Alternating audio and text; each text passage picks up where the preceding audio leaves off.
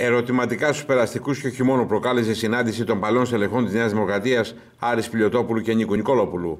Η συνάντηση έλαβε χώρα σε πολύ γνωστό μαγαζί του Κολονακίου και μάλιστα σε μια περίοδο όπου ο Ευάγγελος Αντώναρος ανακοίνωσε η ίδρυση κόμματος.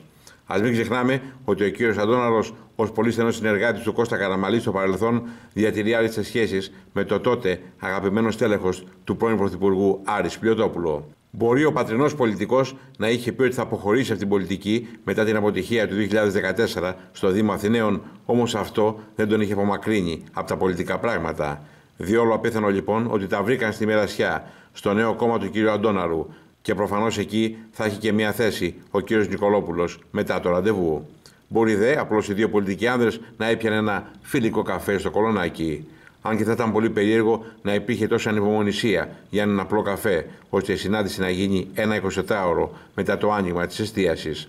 Όλα πάντως δείχνουν ότι ο κ. Νικολόπουλος πιθανόν μεθοδεύει επιστροφή του στη Νέα Δημοκρατία.